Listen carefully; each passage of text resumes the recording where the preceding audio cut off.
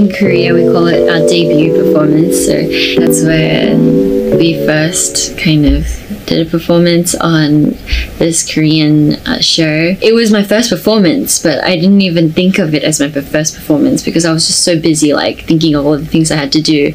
So yeah, I remember it was this our song "Whistle."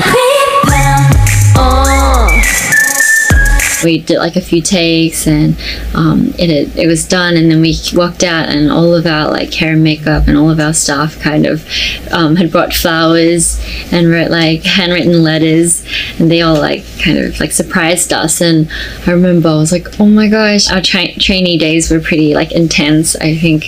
Um, all of my trainee days kind of like all those moments kind of flew by.